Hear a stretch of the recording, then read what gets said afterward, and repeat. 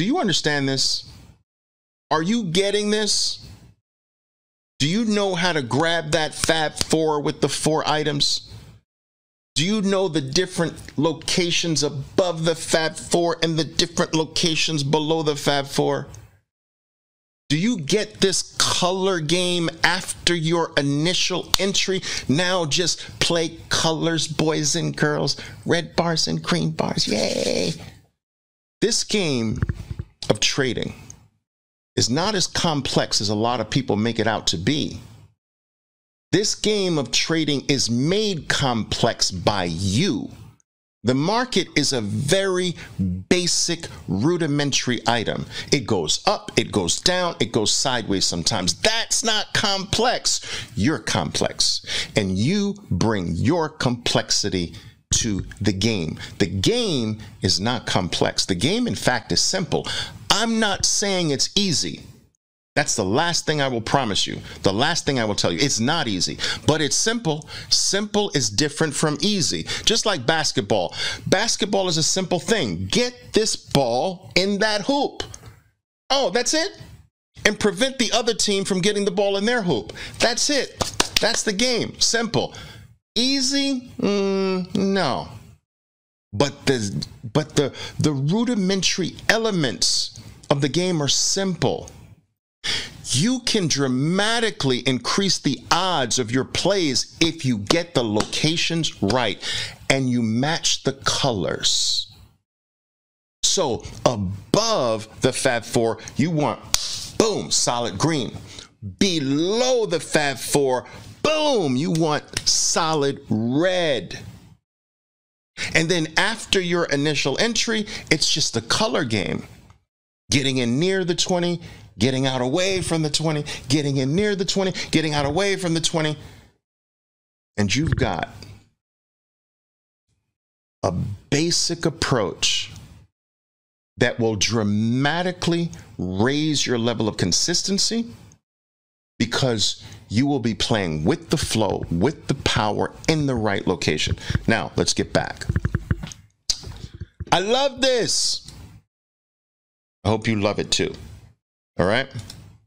All right, let's look at some examples from yesterday. I when I give presentations traders, I try to grab from the current day, which we can't do it Saturday, or if I can't do it the current day, I draw from the previous day. So in this case, I just grabbed trades that my traders took Friday in the market.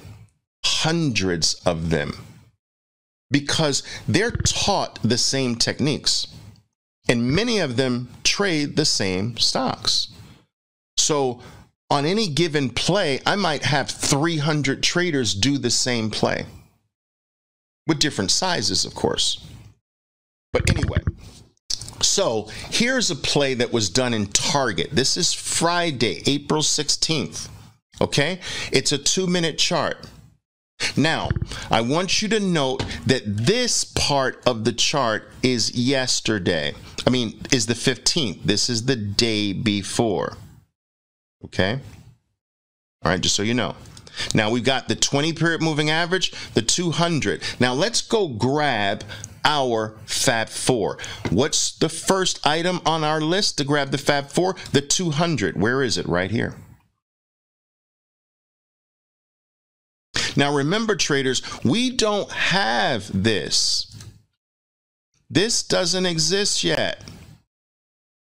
We need to grab the Fab 4 before the market opens. Don't wait for the market open. We can do this before the market opens. So remember, this doesn't exist. It looks like that. Now, so we've grabbed the Fab, we've grabbed the the 200 I mean, sorry, let's do that black again. We grab the 200. What's item number two? Here's the 20 right there. Where's item number three? The prior day's close right there. And where's item number four? The last 45 minutes or so. What's the lowest item of the last? Let's say, let's say, I'd like to go, that's going back a little too far. Let's use this What's the last 30 minutes, last 45 minutes? That's the lowest item. That's the lowest price in the last 45 minutes or so. And this is the highest price of the last 45 minutes or so. Now, of all these lines, where's the top? Right here. Let's extend into the future. Where's the bottom? The 200. Let's extend into the future. This becomes our fabulous four zone. Now we are in business traders. If the market opens here, we know exactly what to do. We're going to Mars. All right? It's like Dogecoin did the last few days. Wow. Okay. If we open here, we're, we know what to do. Okay? Now, I want to talk right now about color matching. The, the best scenario is when you open above the Fab 4, you want the first bar to be green. That's called a match. You are matching the positive location with a positive bar. We've got a match. But sometimes you don't get that. Sometimes Ah, you get a mismatch. Do you understand? Sometimes you get a mismatch. You get the first bar. The bar it opens above the Fab 4, but the first bar is red. What do you do? Nothing. We don't play mismatches. All right? So we would have to wait when we have red, we have to wait for green to take out the high of red. Then we go boom in that beautiful location. But if that doesn't happen and the stock continues to drop, what do you do? Nothing. That's just not a play. So I need you to understand this. All right, this color matching. If we get a match, it's simple. Buy the match or buy above the match. Either one is okay. Buy into the match if it's strong. Buy right above the match as well, if you like. But if you have a mismatch, you do nothing unless the market eliminates the mismatch. Boom! It eliminated the mismatch right there. Very powerful. At the bottom, if we open under the Fab 4, we have a match. You can go into the, the, the match as a short or go under the match if you like. They're both fine. But if you have a mismatch, you do nothing. Do you understand? If the first bar under is a mismatch, you're under the Fab 4, but it's a bullish bar, you do nothing unless that bullish bar is removed. Boom! I go in right there on the removal. It's important to understand this. Now, let's take a look at what Target did. I had like 200 some odd traders do this. Look at the first bar. We've got our Fab 4 traders. We've got our Fab 4, powerful. Fab 4 extended into the future. The first bar opens up right in the beautiful location, but the first bar is not bullish. It's not green. What do we do? We do nothing. Now remember, I'm going to to make this really clear, I'm going to erase this once again. I want you to understand that this is on this is the only thing you're seeing right now. All right? You're not seeing anything else, right? You're seeing that first bar right there, and you're like, oh, okay. But it, you're saying it, this is either going to be no trade or green is going to take out the high of this bar. And if it does, I'm going to be waiting right here. Look, this is you waiting right here. Look, let me draw you right there. You're waiting. You're ready to go, buddy. You see that? You're ready to go, right? Ready? You're ready to go. Boom! Right there. what happens? You know. Boom! I love it. You dive into that bar. You don't wait for that bar to finish trading. You dive into it the moment, the second, the nanosecond it clears that high. Boom! I get that question all the time. Oliver, do I wait for this bar to finish trading? The bar that removes the problem? No, just jump right into the bar. As I mean, one penny. The second it crosses, boom, no waiting, no hesitating, no guessing, no calling up mom, what should I do? No calling up the psychic hotline, just hit the freaking buy button and get in. Now, where do you protect yourself? I teach my traders protect yourself under every bar that you buy.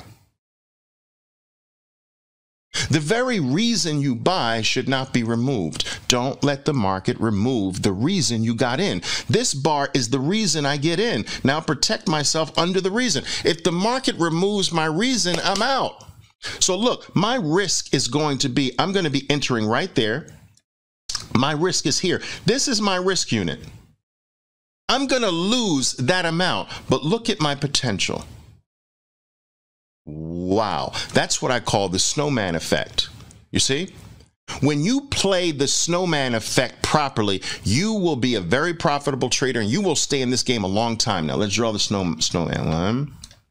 Mm-hmm. I used to do this when I was a kid, you know, put some Oreo cookies, into this white snow, get some twigs from the tree, right? Put a little hat on him right there. You know what I'm saying?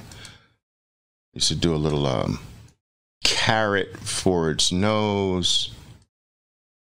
Steal a carrot from refrigerator. Get an old pair of boots of mine that no longer fit. You know what I'm saying.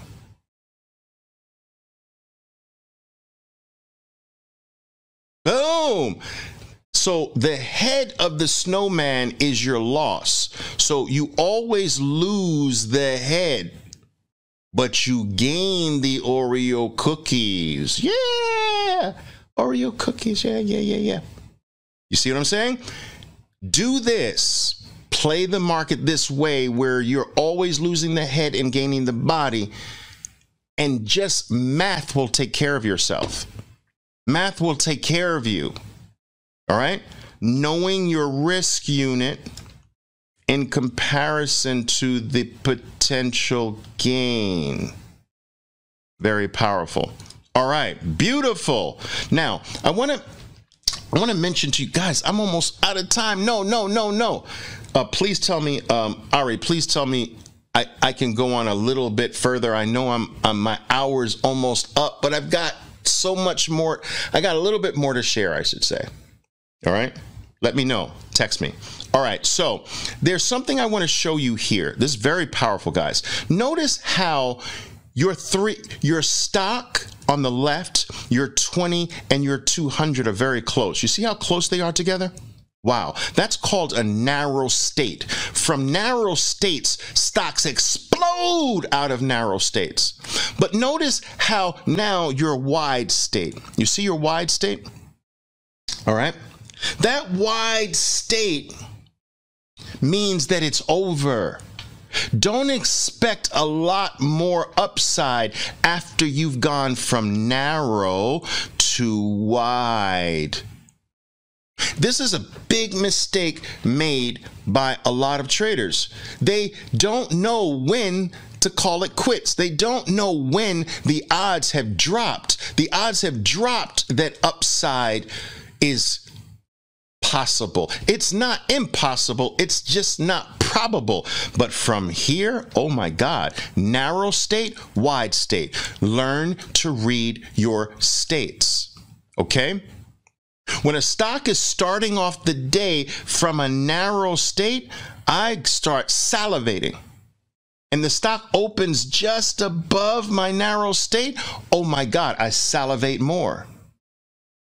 And then boom, protection, risk unit. Remember, when do you take profits? Away from the 20 period moving average. When what can you do after? Play the color game. Didn't I explain that after your initial buy, you can play the color game? When does green eliminate red? Right here. Boom. When does green eliminate red? Right here. Boom. When do you take profits? Away. So you got here, boom, away, take profits. Back in, color game, boom, away, take profits. Back in, color game, away, take profits.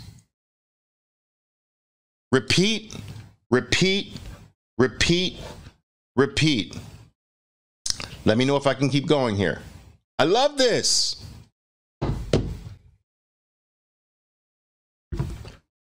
Are you following this, guys? Powerful, simple. You know, most things in the market, most powerful things are simple.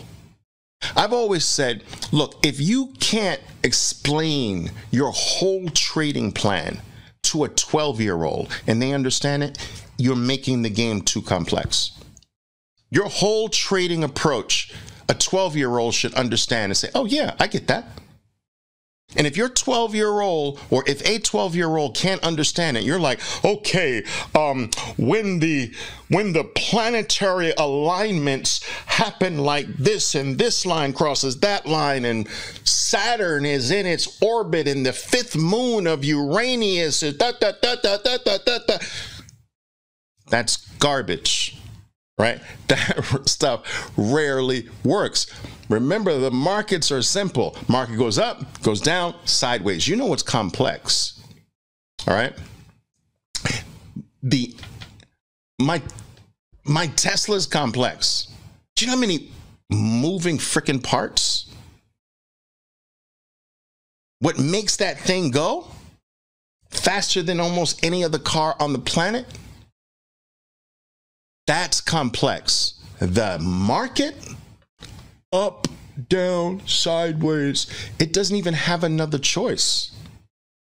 What makes what makes playing the market appear to be complex is you. You bring your doubts to the market. You bring your lack of discipline to the market, the lack of a plan, the lack of proper education and training, the lack of the proper amount of money. You can ruin everything by trying to play with a little bit of money, showing up to a gunfight with a knife, thinking you have a chance. All of these things you bring to the market. And of course, it's complex when you bring lack of discipline, no plan, no technique. You don't know things like location. You don't have the proper amount of money. You're just stacking complexity on top of something that is not complex. Up, down, sideways, up, down, sideways. Cut my loss under my entry bar, right? Take profits away from the 20 period moving average, all right? The best position to buy is right above the Fab 4. The best position to short is right below the Fab 4. Color matches. If I don't have a color match, I have to wait for something to eliminate the problem. I take profits away. I play the color game after I initially get it. I mean, a 12 year old can understand this.